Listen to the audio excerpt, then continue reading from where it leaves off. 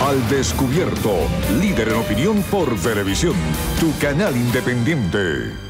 Amigos, vamos a conversar ahora con Francisco Soteldo. Él es diputado a la Asamblea Nacional por la Unidad, diputado por Carabobo y miembro de la Comisión de Desarrollo Social Integral. Buenos días, bienvenido. Muchas gracias. Eh, usted también es secretario nacional juvenil de Primero Justicia y están, bueno, en, en pleno plena campaña apoyando a, Enrique Capriles Radonsky. Veíamos ahorita al gobernador del estado de Barinas, Adán Chávez, decir que había planes desestabilizadores por parte de la oposición. ¿Están ustedes conspirando? Mira, no, también decía que estábamos desesperados, ¿no? Yo creo que el único desesperado que actualmente el día de hoy es el gobierno nacional y desesperado porque quedan cuatro meses para la elección y no tiene planteamientos concretos en materia de seguridad, en materia de empleo, en materia de salud, y lo que se resume simplemente es decir que tenemos planes estabilizadores para seguir divorciando el país de los grandes temas del país. Y todo esto se empata un poco con el anuncio que hizo Enrique Capriles el día de ayer. Anunció su plan del primer empleo, un plan, semanas atrás, anunció lo que es el plan de empleo para todos, un plan donde se propuso una meta de crear 3 millones de nuevos empleos para todos los venezolanos. Y dentro de ese plan está lo que es la política para el adulto mayor que es el plan de tu segunda oportunidad, y para los jóvenes, que es el tema del primer empleo. Nosotros queremos recordar que en la Asamblea Nacional está engavetada un proyecto de ley, que es el proyecto de ley del primer empleo, un proyecto de ley que fue bueno, una propuesta nuestra de cara a lo que fue las elecciones de la Asamblea Nacional, un proyecto de ley que no tiene color político, eso es muy importante que con ese proyecto de ley el tema de la promoción del nuevo empleo, del empleo joven, es para jóvenes de cualquier color.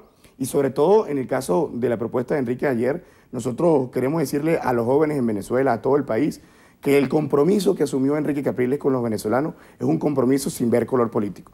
Aquí estamos a la espera de un gobierno que resuelva los temas del país, un gobierno que le hable a todos por igual, sin tener que pedirle el carnet político, sin tener que chantajear a los jóvenes de que vayan a una marcha, ven, yo te doy un empleo, pero métete en el partido. Eso se acabó y esa es la propuesta de Enrique Capriles.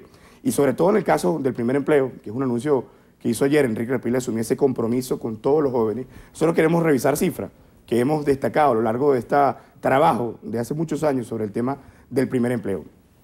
El mismo Instituto Nacional de Estadística, el INE, ubica de que en Venezuela hay más de 400.000 jóvenes que no tienen empleo, jóvenes entre 15 y 24 años de edad. Eso nos indica que no había una política para estimular lo que significa el empleo. Eso incluye a los que están en el sector informal. Sí, totalmente. Eso incluye a los que están en el sector informal. Pero no solamente eso. Fíjense algo que para nosotros es fundamental, que es el tema de la educación y que se empata con el tema del empleo. Estamos revisando cifras donde 27 de cada 100 venezolanos no tienen educación secundaria. Es decir, para acceder al mercado laboral uno tiene que estar formado. Y el día de hoy, casi el 30% de los jóvenes en Venezuela no reciben educación secundaria. Todo eso parte por el déficit en materia de liceos que hay en Venezuela.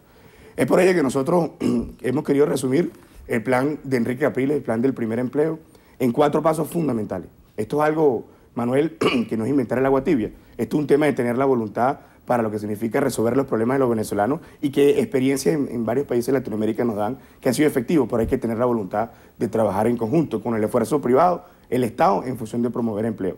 El primer paso es el tema de la formación. Nosotros hemos revisado el déficit que hay en materia de liceo y Enrique Capriles ha asumido el compromiso con toda Venezuela de que inmediatamente llegando al gobierno va a iniciar la construcción de mil liceos en toda Venezuela. Mil liceos que va a cubrir esa demanda que hay de esos liceos que no llegan a la educación secundaria para que todos esos jóvenes que están fuera de lo que es la educación eh, secundaria puedan terminarla y llegar a lo que significa la educación superior. El otro paso fundamental del plan del primer empleo tiene que ver con la capacitación. Hemos visto cómo el INSE, el INSES, que hoy es un ente simplemente para lo que significa el adoctrinamiento político.